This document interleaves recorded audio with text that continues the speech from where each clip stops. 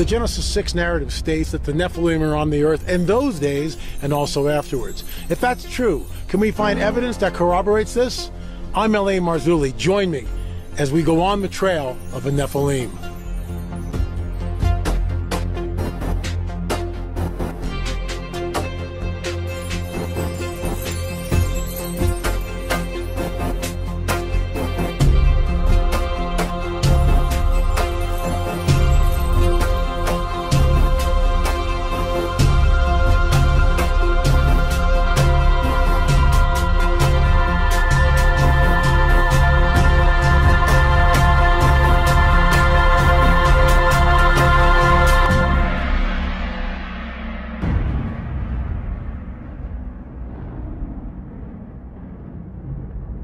Coming to you from an undisclosed location somewhere deep in the heart of the Santa Monica Mountains, I am your intrepid host, L.A. Marzulli. Special presentation here. Um, I hope this whets your appetite for live streaming at the Prophecy Watchers Conference because I'm going to show you a very intimate um, interview I did with Mondo Gonzales. He interviewed me in 2020 at the Prophecy Watchers Conference in Colorado, and I'll show you part one, and then tomorrow we'll do part two. But first, a word from our trusted sponsor. Heart disease, blood clots, strokes, and kidney failure. This all can be found on the back of a ibuprofen bottle. And to top it all off, ibuprofen doesn't even get to the main cause of your pain and swelling problems. It's only temporary pain relief, and it's only masking the true problem, which is inflammation. This isn't a solution to your pain. Right now, you can go to getnativepath.com forward slash LA. I'll say that again, and it's right in the screen below. GetNativePath.com forward slash LA to learn more and see your special offer for being a Mark Z listener. Folks, it's not only ineffective, it's expensive and downright dangerous, especially for seniors. That's why researchers are saying to add this Antarctic super nutrient to your diet. I'm talking about omega 3 fatty acids, but not just any form of omegas. These are omega 3 fatty acids sourced from wild caught krill. The omega 3 content from krill oil has been shown to support healthy blood pressure, circulation, brain health, as well as reduce inflammation, swelling, and joint pain. In fact, it can outperform ibuprofen, Advil, and Tylenol, and it doesn't have the dangerous side effects mentioned above either. Better yet, for a limited time, you can grab Native Path Antarctic krill oil for as low as 23 bucks a bottle. Just go to getnativepath.com forward slash LA. Once again, getnativepath.com forward slash LA right now to get your special offer for being a part of Mark's audience. Or click on the link below this video. So here's part one of the sit down interview I did with Mondo Gonzales. So appreciate you guys coming to this last session, at least for us. And uh, we do have some questions that have come in, and if I run out, I'll uh, open it up to the crowd. Oh, lucky me. Yeah, lucky you. So, um, you know, honestly, the one of the first questions I would like to ask LA is, um, There we go. you know, when we think about some of the wh- what I would say like two years ago, a lot of these topics are very taboo. Uh, in the last couple of years, that has changed a lot because a lot of the facts have come out and the government's come out and admitted a lot of things. But um, when we think about the importance of the gospel of Jesus Christ, um, that's of course so important. Why spend any time at all being on the trail with the Nephilim, um, aliens, transhumanism, UFOs? Why in the world should any Christian spend their time on those kind of fringe topics? Well, there, they certainly, big echo here. Thanks for coming, guys. Yeah. Appreciate it. Yep. They, um, you know, salvation is, is the shallow end of the pool. What I mean by that is, you know, salvation is, is so important. The easy stuff. The very, That's, yeah. and that's when Paul tells us, you know, we've already, we've already talked about salvation. We've already done that. Now we're going to move to the deeper things of the Spirit. So, again, our mission statement is to expose the deception of the prince of the power of the air and to herald the return of the King Jesus. So we do both. We expose, but we're always pointing to that, you know, we're going to go up at some point, and not only that, he's coming back on the white horse. I was there when I first became a Christian. I've told this story before, but I'll say it again real quickly.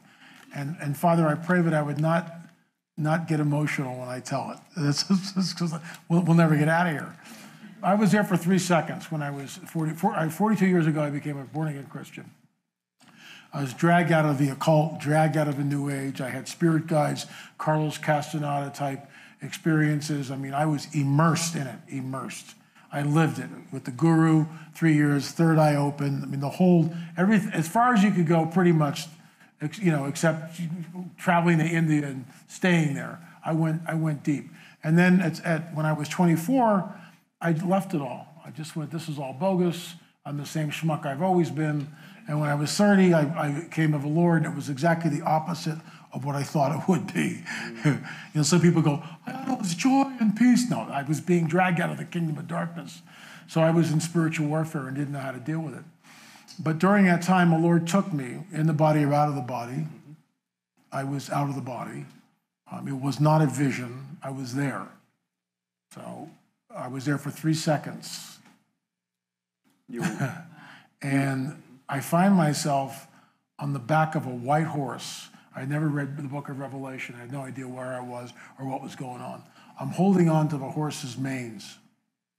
Horse's mane. That second one. So I'm like this. Second one. Second two. That was interesting. Second two, the rider on the white horse is way over there and the armies of heaven are not linear, they're stacked up like floors of a building floor one, floor two, floor five, floor eight, and it's in a horseshoe shape. Mike keeps going off, don't know what's going on. And it's in a horseshoe shape like this. So it's not linear, it's in a horseshoe shape. And the armies of heaven are stacked up. And I don't know how high they go. So, second one, the main, second two, there's the rider on the white horse second three, I, I realize I'm on the right flank, up about eight rows back from the, from the front. And the guys in front are really big. And then I'm back. And I had no idea where I was, what I had just seen. And then my pastor goes, I tell him, like in counseling a couple of days later, I had this, you know, I'm not sure what happened. And he goes, he's looking at me like, have you ever read Revelation 19? So I believe that um, that, that that sort of set up what what we do because what we what we talk about is the Nephilim. We talk about the kingdom of darkness, but we expose the kingdom of darkness, and then we herald the return of the king. And having been there for three seconds, it's real. I mean, he is coming back on that white. I had a dream a couple of weeks ago. I'm too many rabbit trails. I'm sorry. I'm just listening. I had a dream a couple of weeks ago that was, and I kept going, in the Lord, can we go back to that dream? You know, but I'm, I'm on this beach. It's, I'm in the middle of nowhere, just this beautiful white sand beach. And the first thing I notice is Jesus is making a fire. He's like sitting in front of a fire and he's kind of stoking it. There's no eye contact. He's like, he's doing something. He's preparing a meal, something like that. And I look to my left and there's the white horse about 50, 50 yards away. No, and the horse I, I was on, no, no saddle, no bridle. People ask me, were there women there? I can't tell you that. Some of it, some of it is just blocked. You just, you, you know, you're there and it's like not for here, but you're shown something, but you don't, you can't carry all of what you see back. So there you go. Yeah. So that's why we do it. And I, I, Ellen and I have talked a lot about, we've done some programs that are going to be coming, you know, forthcoming, but just the, the nature of studying the supernatural. It's, it's interesting to me, you know, as a pastor, where many brothers and sisters, you know, they believe in the resurrection. You know, they believe in angels, right? I mean, of course, it's in the Bible. I mean, for the most part, you have people that, when you read about, uh, you know, Gabriel showing up to Mary, like, do you believe that? Yeah, I believe that. But then it's like the supernatural was for back then. Yeah, not now. Not now. And so many times when we come to address some of these issues, you know, our goal is to maintain that the supernatural has been there all along. And so we shouldn't, why would we expect, again, in America, we think about the sanitized version of of spiritual warfare. Where if you go to some of these other countries, these third world countries, yeah. they understand spiritual warfare. They understand demonic stuff, and but uh, Satan has chosen for whatever, for whatever reason, for the most part, to keep us blind to the other side. But when we approach Scripture, we realize, yes, so we look at scripture, you know, in the worldview, and we look out and we go, okay, well, what would we expect to see? And we, again, you see it as a missionary, but I think as well, let's go back, because why, why talk about these things? Um, I know for you and others, and maybe some of you, how many of you have come to know the Lord through some of these topics? Right. And God uses them. Uh, they're, they're, and they're kind of fun. I mean, honestly, it's, but we get introduced to some of these weird things, and then you come to know the gospel. And that's ultimately what the, the, the reason why is because it's not just doing it for the sake of doing this, but it is to point back to the gospel. One, one more thing. I'm on Coast to Coast uh, two or three times a year. And it's, for those of you who don't know, it's a very secular show. Um, and George is sort of a chameleon. He's the host. Who, whoever's on, that's what kind of paradigm he adapts, which is fantastic because it's a platform where there is no ridicule. Everybody gets their say. So it's, it's and he allows me to talk about Jesus and the whole deal. So um, every time I'm on there, uh, sometimes, especially in the earlier days, I would refer to the Bible as the guidebook of the supernatural. Because that's what it is. Because I'm, I'm speaking to people that if I say Bible to, it's like, click, there's got to be another station, quick. But if I say guidebook of the supernatural, it's like all of a sudden their ears perk up. And sure enough, every time I say that, the next day we'll get a, a flurry of emails. Dear Larry, I went on Amazon.com and I and I tried to find Guidebook of the Supernatural, but it's not there. Where, where, do where do I find it? And then I go, well, and, and it gives me an opening to witness to him. See, the, the, the, the church, you know, we, we try to we have to speak to people in a way that they can understand. So if we're speaking to a new age person, someone that's come out of that whole, oh, thank you. Yes, test, test one, test two. Old Man River. so if we if we speak in a language that they can understand, if we because the, the Bible is the guidebook of the supernatural. It teaches us how to. It teaches us about the heavenly. Oh, thank you. Fresh. Yep. It's all right. We're gonna get rid of this one. Thank you. Just 'cause So yeah, it keeps cutting. yourself. So if we, if we speak in a language that they can understand, and we understand that the Bible, as a guidebook of the supernatural, teaches us what spiritual warfare is, teaches us what the battle is, teaches us the heavenly, the protocols of this heavenly war, where it's going, the prophetic message. I mean, which is utterly supernatural. I mean, prophecy is completely supernatural. I remember sitting down with an atheist. He goes, "Well, just show me one thing that's supernatural about the Bible." That kind of an attitude. I say, "Well, are you aware that Israel, the regathering of the nation of Israel, has been prophesied for thousands of years, and it happened, and here we are." And I showed him the passage, and he just he was dumbfounded. He didn't know what to say. Well, maybe somebody invented that. Oh, yeah. So let me see. We have the Holocaust, and on the ashes of the Holocaust, we have, mm-hmm. which was the birth pains of Israel. The Holocaust, I wrote about this in Called the Chess Match. The Holocaust happens because Hitler's a type of an antichrist, in my opinion, and the dragon anoints him because he knows something's up. He knows that the latter rain is beginning to happen in Israel, which hadn't happened in almost 2,000 years. There's a trickle of Jews coming back. The whole Zionism thing is starting to happen. He raises up his Antichrist man, and his, his goal is to wipe out every Jew on the planet because if he can do that, Israel is not a nation, will never happen. Mm-hmm. God's a liar, follow me, I win. That's what's at stake. And I truly believe every single person who died in the Holocaust is maybe they're the souls under, underneath the altar. I don't know but I think they're with him. Yeah, I mean, when you look at, uh, it, it's interesting if you ask the question, um, what is required for, for Jesus to come back? And there's a, a, very specific phrase in Matthew 23, 37 through 39, where Jesus is, he's kind of his last comment to the leadership. And he says, you know, I've desired to gather you together as a chicks. You know, Jesus' heart is for his, his brothers. But he says, you will not see me again until what? until you say, Blessed is he who comes in. And I love until words because I circle those. Those are great time factors. And so what I say is if we could just get Naftali Bennett to welcome Jesus back and invite him back, you know, today, Jesus would come back. But the, the point of the tribulation is to grind Israel down. God's like, we're going to have a talk. You guys killed my son and we're going to have a talk, and he's your savior, he's the savior of the world. And so, the purpose of the tribulation, and you see what uh, in Revelation 12 on, the second half where the Antichrist seeks to demolish the Jews. But God's going to protect them, and they're going to come down. And we know that, again, two thirds of the Jews are going to perish, Zechariah 13. You see, have all these passages, but they're going to come to the point where they recognize and they're going to mourn, right? Zechariah 12:10, the one whom they pierced, and they're going to go, "Yes, Jesus, come rescue us from this guy coming to, to genocide." So if if Satan can get rid of every last Jew, then that passage can never happen. And so you see this theology behind it. So here's a, a great question: Is Mark Zuckerberg or Elon Musk a Nephilim? On the record, L.A. Marzulli, what do you have to say? They speak, uh, yeah. So, So here's the deal. I had a call from an anonymous person. I can't go public with the story, but I could say this.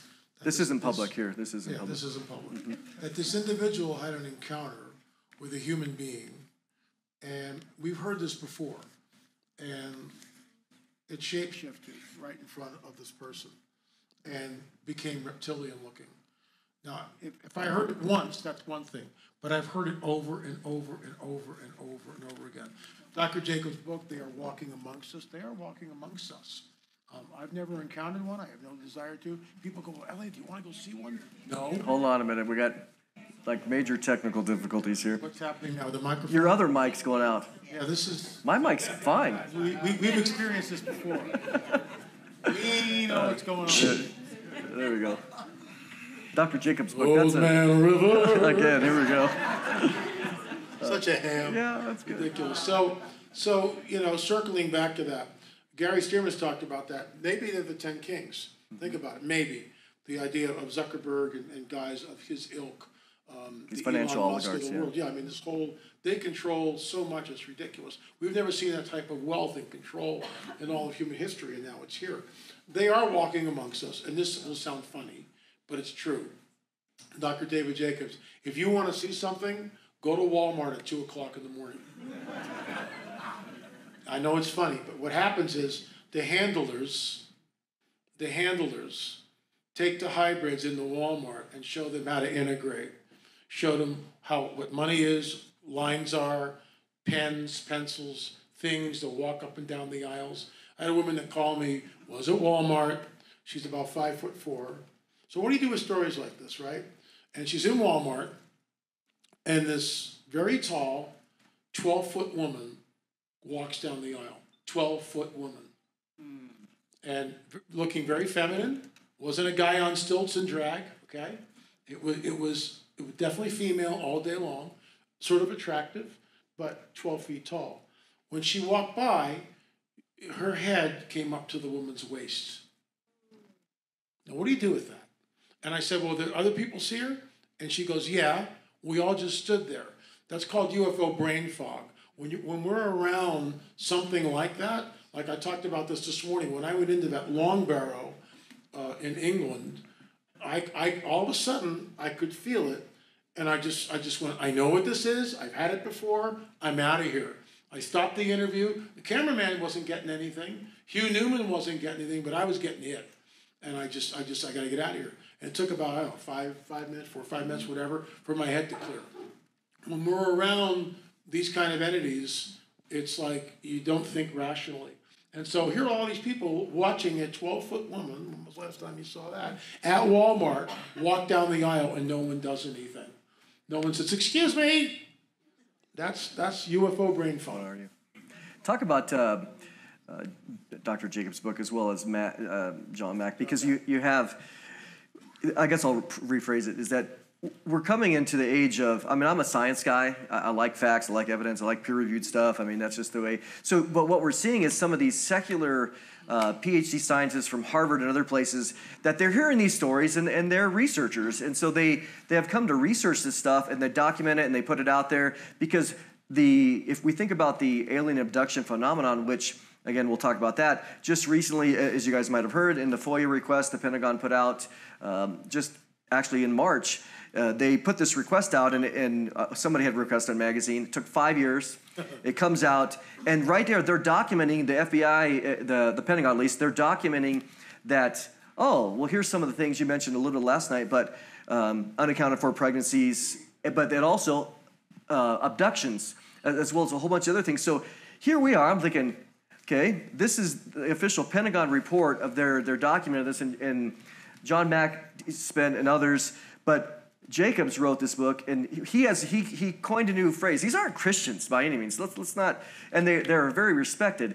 But he come up, he came up and he coined this word hubrid. Talk about that. He says that there are hybrids, human alien hybrids, walking amongst us. That's the title of his book. Um, I've interviewed him several times, um, and we had a. It's, it's in our Watchers series. If you're interested in that, um, those one-on-one interviews with Jacobs, they're incredible. But this hails back to the seed of the woman and the seed of the dragon. The seed of the dragon will be enmity with the seed of the woman. He, the one coming from the woman, the Messiah, will crush the dragon's head. That happened on Calvary. So we know that, that that's in the past. Then we get to Daniel, and I talked about this last night. Their seed will mingle with the seed of men, but they shall not cleave to them, which is where we are now. So the dragon is constantly changing tactics, especially after Calvary. I mean, that was it. That was checkmate. It's over. But the protocols of the war um, apparently still go on at, at, because he's not, he hasn't come back yet. So even though the kingdom is his and he's got the keys, he hasn't claimed it yet. I think it just went dead again. That's You're back. bizarre. Yeah. It's really getting weird, guys. Third mic. So, um, yeah, so, um, this hails, this hails back at Genesis three fifteen, in, in the book of Daniel. It's really strange. Father, in Jesus' name, We just come before you and we take authority over whatever is happening here. in Jesus' name, and we ask, Lord, that you would stop the interference. If it's technical, then we battery whatever. But if it's something else, Lord, we pray that you would stop your power and do it soon. In Jesus' name. Yeah, amen. So, you know, Genesis three Fifteen is uh, here goes Oh, another- we got another one over here. and here's the baton handoff. Thank you. This is the fourth Checking mic. one, two, three. That's the fourth. This is great. Yeah, point. So where was I? Genesis three fifteen, the book of Daniel. So what we see is that he's created. I I remember asking Chuck Missler this years ago. I said, Chuck, what do you think about the hybrid program? Without missing a beat, without you know even thinking about it, pondering about it, he goes, "Oh, Satan's out number two to when he's building an army." Just like that, he just rolled it right out. Satan's out number two to when he's building an army. It's like, whoa, Chuck. So he believes in these hybrids. We have had in, in, in our free film on YouTube, Al Matthews, who became the centerpiece of the film, okay? Al had this this encounter with a, a hybrid, a hybrid, an entity, mm-hmm. part human. So he's riding up in the elevator with this woman. Never met this woman before in his life. She leans over and, and she says, whispers in her ear, "They're listening, Al." And Al's immediately creeped out because it's just the two of them in a freight elevator. And he goes, Who's listening? And she goes, You know, the Grays. I know that you've been taken many times and we were supposed to meet on the ship.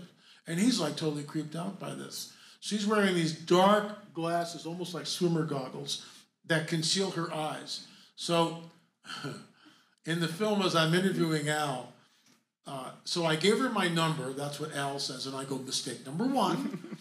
and she calls him up two weeks later, and he goes over to her place. She's having uh, a get together with a girlfriend. They're drinking wine out of these huge goblets. They're out on a deck. It's a beautiful summer night, and he's sitting like across from her, and he goes and he see, notices this deer fly, a huge fly, on the edge of her goblet, and he goes, "Let me get that for you."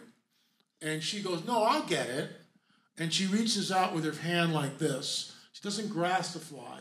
The fly sticks to her finger. And she brings it up like this and goes like that.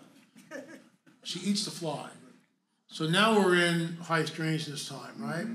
And then she takes off the glasses and she goes over and she sits on Al's lap. We're all adults here. She sits on Al's lap. And I, so I stop him right there. I stop the and go, Al, Al, Al, you got a girlfriend at the time. Is this normal behavior? No one's ever asked him that question before. And you see him, he goes, he's like shocked because, you know, he realizes, wait a minute, why did I even allow this? And she lifts up his shirt and she starts rubbing his chest and going, Ma, you're well preserved. And she leans forward to kiss him, and Al pushes her off. When he pushes her off, the eyes shapeshift. The eyes shapeshift, and she lets out the most evil laugh you've ever heard in your life. Al flees, terrified from the scene. She was a hybrid.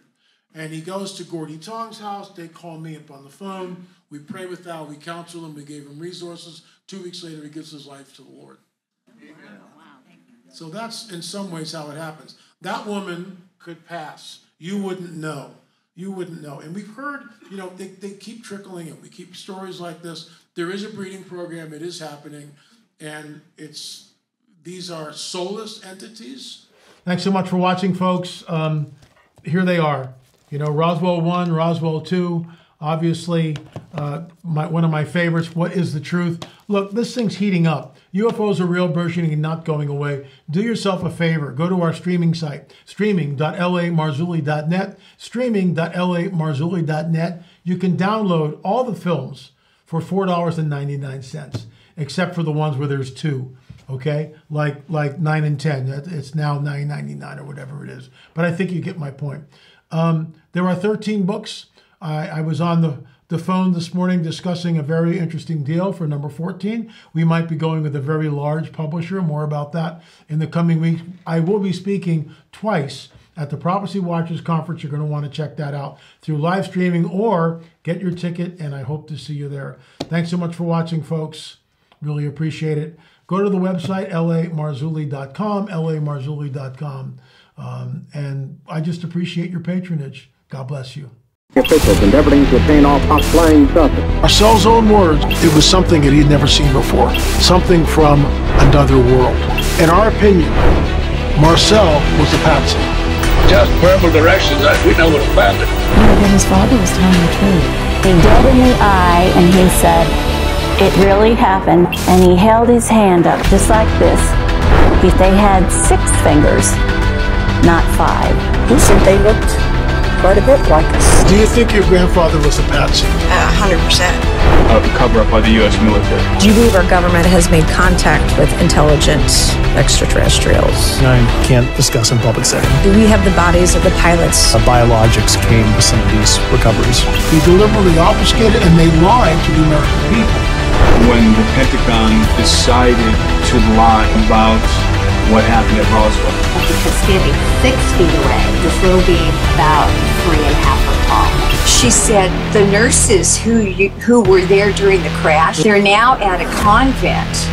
The first book that Randall wrote, and he said to Jesse that that's not fiction. But for everybody, I mean, this is a human thing. It's a, a worldwide changing, be life changing for everyone. It was certainly not a weather balloon and not something from this earth.